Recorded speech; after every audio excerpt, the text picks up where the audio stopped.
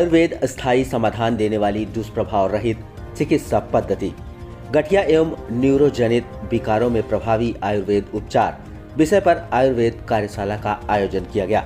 जी हाँ विश्व आयुर्वेद परिषद, आयुर्वेद फेडरेशन ऑफ़ इंडिया एवं जय गणपत जन कल्याण ट्रस्ट, अलवर द्वारा होटल निर्वाणा पैलेस, अलवर में गठिया एवं न्यूरोजनित विकारों में प्रभावी आयुर्वेद उपचार विषय पर आयुर्वेद कार्यशाला आयोजित की गई।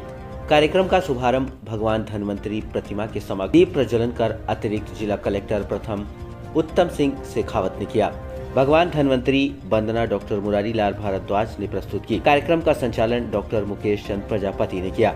कार्यक्रम की शुरुआत में डॉक्टर अनिल कुमार जैन ने अतिथि स्वागत, भाषण एवं कार्यक्रम परिचय सभी के समक्ष रखा।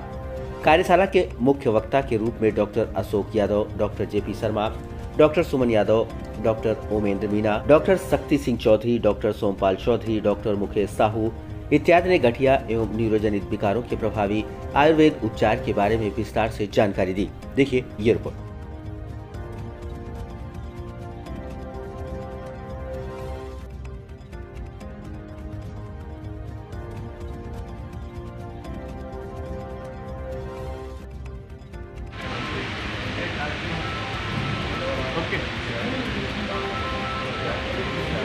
तमिल फार्मा से हमारे इनसे ग्रामीण